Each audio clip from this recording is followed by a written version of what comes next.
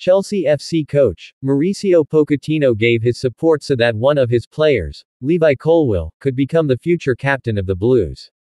According to him, Colwill has the leadership that Chelsea will need in the future.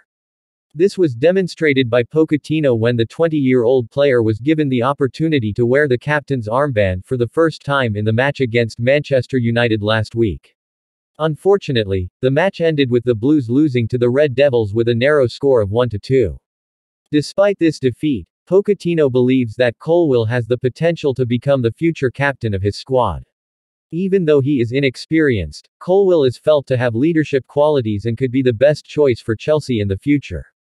Levi can work under pressure and that is because of his character. He loves this club coming through the academy and has been playing with the main squad for five months. Everyone respects him and he has the characteristics to be captain. We are building something for the future. Colwill will be a great player for the future of this club. It was my decision to give him responsibility and opportunities to learn.